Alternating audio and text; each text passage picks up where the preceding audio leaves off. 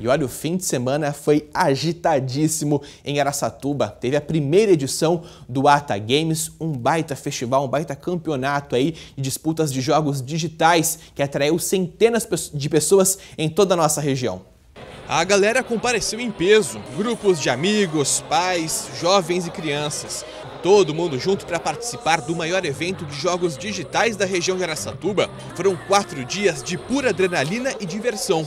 O primeiro Ata Games é uma parceria do SBT Interior com o Araçatuba Shopping. Essa parceria do Araçatuba Shopping com o SBT acho que não poderia ter sido melhor.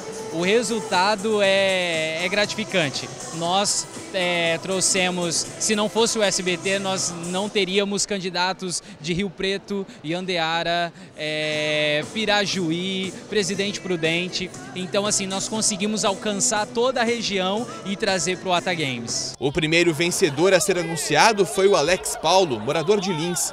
Depois de jogar diversas partidas do FIFA 2017 e passar por várias eliminatórias, o campeão conseguiu respirar aliviado. Mas não foi nada fácil ganhar o tão esperado PlayStation 4 e esse troféu aí, ó. Desde o começo eu não imaginava pegar a rapaziada jogando em alto nível. Desde o primeiro adversário até agora, no sufoco, agora no finalzinho eu consegui sobressair. É, foi um jogo difícil, né? Difícil pra caramba. Mas a parada dura mesmo veio depois no Just Dance. A Nandara Ferreira, que mora em Rio Preto, estava até desacreditada na final.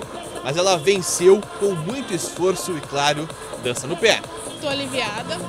Sinceramente, nessa última eu quase falar, ah, não vai dar, vou jogar de qualquer jeito, porque eu acho que não vai, né? Mas aí foi. Além de proporcionar diversão, o Ata Games conseguiu arrecadar muitos quilos de alimentos. E se você está pensando que vai parar por aí, tá enganado, viu? a gente tem o SBT Games. O SBT Games é a mãe.